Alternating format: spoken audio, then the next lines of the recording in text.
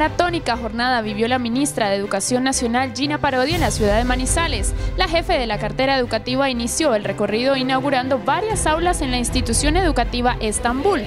Solamente estudiando con tesón y con fuerza se puede lograr. Esa es la gran invitación que le hacemos. Y que cuiden el colegio, que este colegio es maravilloso. Ojalá la pasen muy bien y que aprovechen este salón. Posteriormente, en el Colegio Fe y Alegría La Paz, se dio inicio oficial a la jornada única escolar que ya beneficia al 27% de la población estudiantil de la ciudad. Estudiar todo el día es mejor, nos abre los conocimientos, nos abre las puertas para el futuro.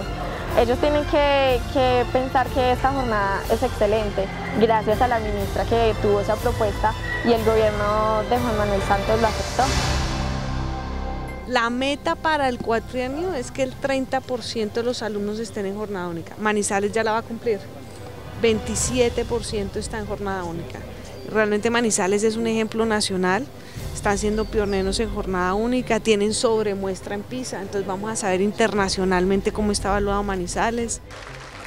Además, la ministra declaró a Manizales como territorio libre de analfabetismo, debido a que menos del 4% de su población es iletrada y para los colegios que se pusieron a prueba con PISA 2015 fueron entregados una totalidad de 1.800 computadores a la ciudad para facilitar el aprendizaje de todos los estudiantes. Una parte llegará para este colegio, 50 computadores nuevos para este colegio, nuevecitos. Me gusta lo que te gusta leer. A mí me gusta leer porque me descansa, me gusta leer porque me mete en otros mundos y me gusta leer porque aprendo muchísimas cosas. En la Universidad Nacional se llevó a cabo el recibimiento a los beneficiarios del programa Ser Pilo Paga, que estudian en Manizales y reiteró además que la entrega de subsidios ya está en marcha.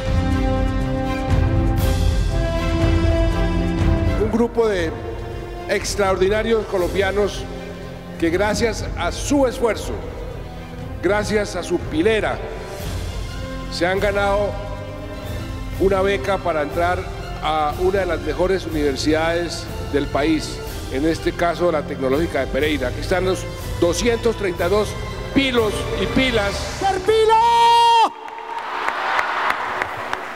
Todos por un nuevo país. Paz, equidad, educación.